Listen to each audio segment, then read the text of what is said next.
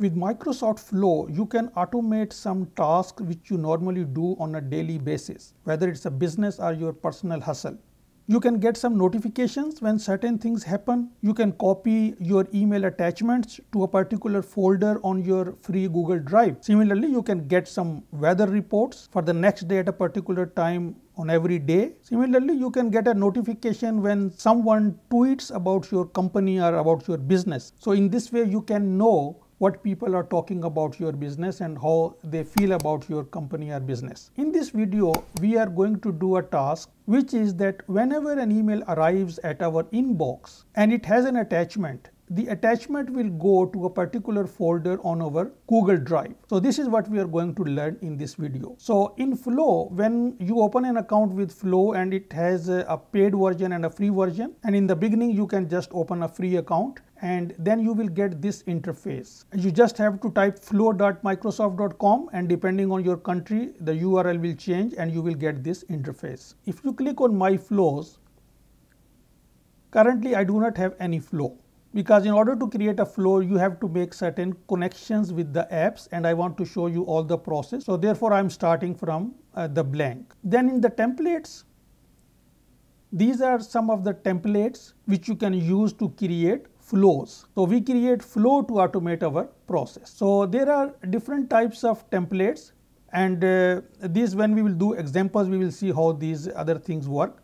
But in this video we are going to create a flow which will send the attachment of our email to our Google Drive and to create a flow we have to go to my flows and then click on this new. There are four types uh, you can create a flow uh, by creating from a template, automated from blank, instant from blank and scheduled from blank. So, we will create from template and now these are some of the templates which are most commonly used. Then you can click on more templates and this is the flow which we are going to create. Save Gmail attachment to your Google Drive. So, click on that and now we have to make these two connections. We have to uh, connect our Gmail to Flow and also uh, Google Drive to uh, Flow so that these two can communicate using our Flow. So, you will see this prompt and you have to sign in into your Gmail in which you want to send attachment.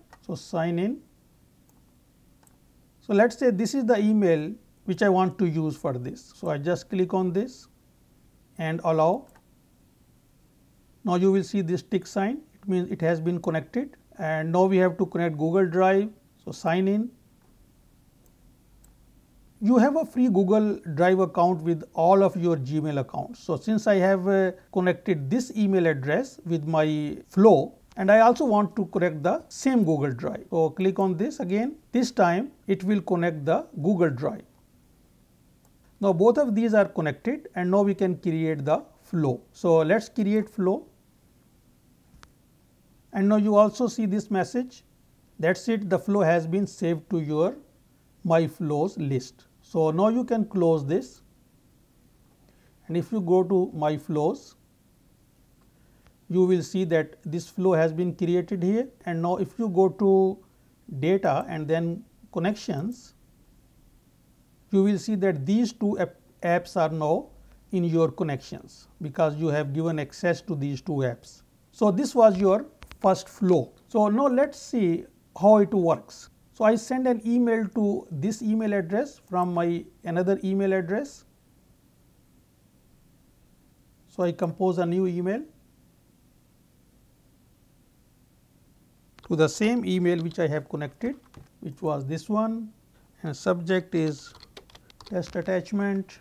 No need to write anything just attach something. And let us see I attach this file this excel file and now I send email. And now I go to my that email address which I connected to flow.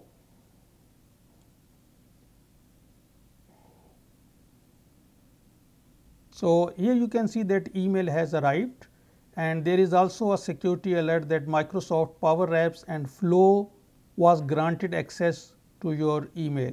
So, this is what we have done previously and this is the email which I got from my second email. So, now this email attachment, this file after some time it will go to the Google Drive of this email address. Let us go to the Google Drive now. So, this Google Drive is empty at the moment. It has only one folder here, but the file has not arrived yet because for free account it can take up to 15 minutes to uh, send the attachment to Google Drive or for any action. Normally it takes 2 to 3 minutes, but sometime it takes more time. So, after some time file will arrive here. You can also specify which particular folder you want to send file to and this we will do next. And now after nearly 5 minutes uh, I got this attachment in my Google Drive and if I click on this this is the file. So, because we have used a template, so this template has created a folder called attachment and then put the file in that folder. So, now let us see if we want to send this file to a particular folder. So, this uh, uh, drive is empty, there is only one folder which I have created here and this is this folder test and tutorials. So, currently if I click on this, this folder is empty. So, what I want to do is I want to send my attachment to this folder because this is the normal way you will be doing in your practical business that for every project you have a folder and whenever an email comes from a certain address. So, this is another thing we can do that when an email arrives from a particular address then it goes into this folder. So, this is what we are going to uh, do next. So, for that what we do uh, this is our uh, flow if you click on my flows, you will see this screen and then if you click on this flow, then you will see this screen. So, on this screen, on the right hand side there is a uh, icon edit and if you click on this edit, no, these are the two dynamic contents. So, when an email arrives, apply to each attachment and if you click on this, and if you click on these three dots and then click on settings, cancel it because we want to change this here. Now currently it is using this attachment to create a file and if you click on the settings of this, cancel this thing, you will see that it creates a folder called attachment and then it keeps the file name whatever is the attachment name and then file contents whatever are the contents of the attachment. So, we want to change this folder. So, the one way you just click on this icon on the right and then this arrowhead and if you click on this it's loading and these are the two folders currently we have. This folder was created by flow and this is the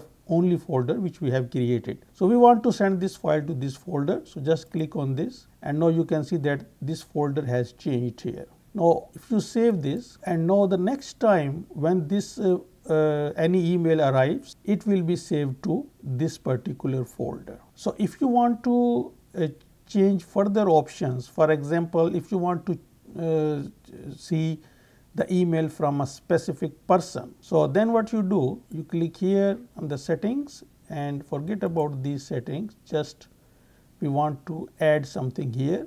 So, these are the advanced options. So, show advanced options and here you can see that from you can add any uh, email address from which you want to uh, get the email. So, for example, it could be your boss.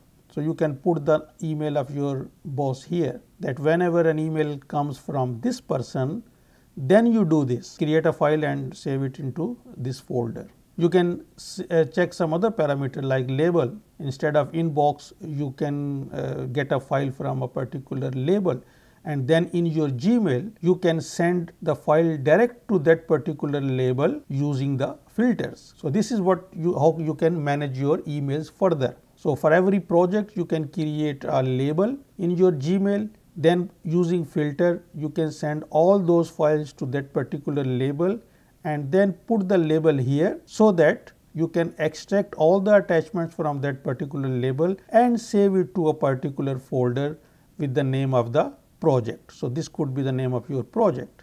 So, in this way you can automate the whole process of getting the emails.